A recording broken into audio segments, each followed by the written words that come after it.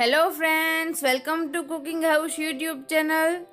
તો આજે હું તમને બતાવીશ કે ઉનાળામાં પીવાતી ઠંડી ઠંડી છાશનો મસાલો ઘરે કેવી રીતે બનાવવો? આ મસાલો બનાવવો ખૂબ જ ઇઝી છે અને માત્ર દસથી પંદર મિનિટના સમયમાં આ મસાલો બની જાય છે. અને એક વખત બનાવ્યા પછી આ મસાલાને તમે આખા વર્ષ સુધી સ્ટોર કરી શકો છો. આ મસાલો કાજુ સલાડ હોય કે ચાટ મસાલા તરીકે પણ તેને ઉપયોગ કરી શકો છો. તો તમે પણ આ રીત જોઈ અને ઘરે મસાલો જરૂરથી બનાવજો અને કેવો બન્યો તે મને જરૂરથી જણાવજો. રેસીપી જોઈતા પહેલાં જો તમે કુકિંગ હાઉસ યુટ્યુબ ચેનલને સબસ્ક્રાઈબ નથી કરી તો જલ્દીથી કરી લો અને બેલ આઇકન પ્રેસ કરી દો જેથી કરી અને તમને બધા જ નવા નવા વિડીયોઝની નોટિફિકેશન મળતી રહે. છાશનો મસાલો બનાવવા માટે આપણે લઈશું એક કપ જીરું, પંદરથી વીસ નંગ તીખા, બે ચમચી સંચળ, અડધો કપ ધાણા જીરું, એક ચમચી સૂટનો પાવડર અને બે ચમચી જેટલું નમક લઈશું.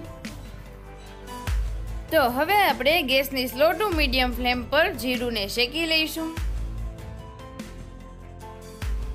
જીરુંમાંથી ખૂબ જ સરસ સુગંધ આવવા લાગે એટલે આપણને ખબર પડી જશે કે જીરું ખૂબ જ સરસ રીતે શેકાઈ ગયું છે. જીરુંને શેકીને એડ કરવાથી છાશના મસાલામાં ખૂબ જ સરસ ફ્લેવર આવશે.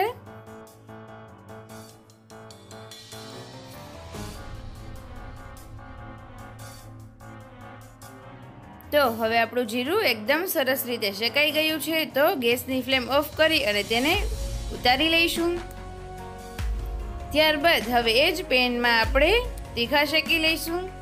જો તમે જીરું અને તીખાને એકી જોડે શેકવા માંગતા હોય તો એ પણ શેકી શકાય.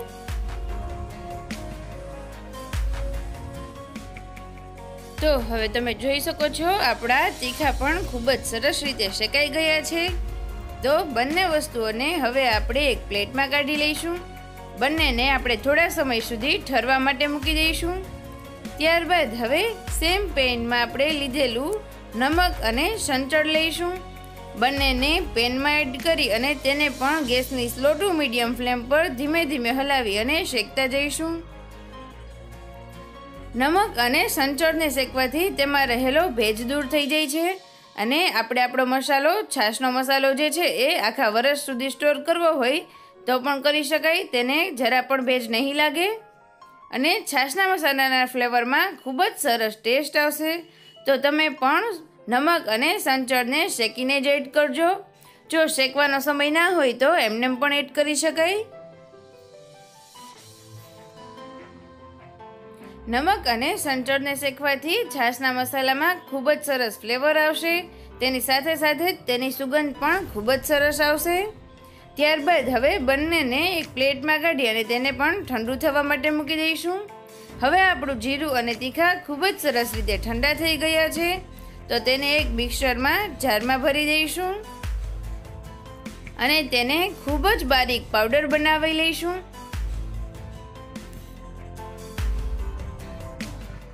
તો તમે જોઈ શકો છો, હવે આપણું જીરું અને તીખા બંને ખૂબ જ સરસ રીતે ક્રશ થઈ ગયા છે. તો મેં નીચે બાઉલ અને ઉપર ચાળણી લીધેલી છે, તેના વડે તેને ચાળી લઈશું. ત્યારબાદ હવે મિક્સરના સેમ જારમાં આપણે શેકેલું નમક અને સંચળ એડ કરીશું. ત્યારબાદ તેને પણ ખૂબ જ સરસ રીતે પાવડર બનાવી લઈશું. હવે આપણે જીરું અને તીખાને ખૂબ જ સારી રીતે ચાળી લઈશું.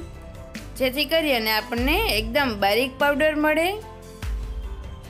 ત્યારબાદ હવે તેમાં ધાણા જીરું એડ કરીશું. ત્યારબાદ તેમાં સૂટનો પાવડર એડ કરીશું. હવે તેને પણ ખૂબ જ સરસ રીતે ચાળી લઈશું. તો હવે આપણું નમક અને સંચળ પણ ખૂબ જ સરસ રીતે ક્રશ થઈ ગયું છે અને તેનો પણ બારીક પાવડર બની ગયો છે. તો તેને પણ ચાળણીમાં એડ કરી અને ચાળી લઈશું. જેથી કરી અને છાશનો મસાલો એકદમ બારીક અને પરફેક્ટ બને. આપણે ઢાંકણમાં ચોટેલું પણ સંચળ અને નમક એડ કરીશું. હવે તેને ખૂબ જ સારી રીતે ચાળી લઈશું. ઉપરનો બધો જ ભાગ તેમાં દૂર થઈ જશે. હવે બધા જ મસાલાને ખૂબ જ સરસ રીતે મિક્સ કરી દઈશું.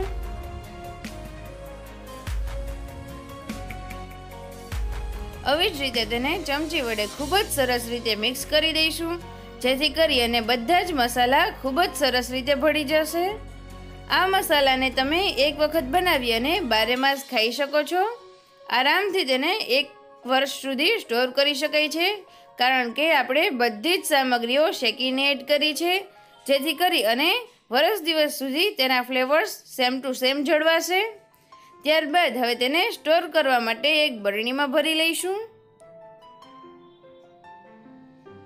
તો તૈયાર છે આપણો ખૂબ જ સ્વાદિષ્ટ માર્કેટ કરતાં પણ ટેસ્ટી છાશનો મસાલો, જેને તમે છાશ કે ફ્રૂટ સલાડ હોય કે ચાટ મસાલા તરીકે કોઈ પણ સલાડમાં એડ કરી અને તેની મજા માણી શકો છો.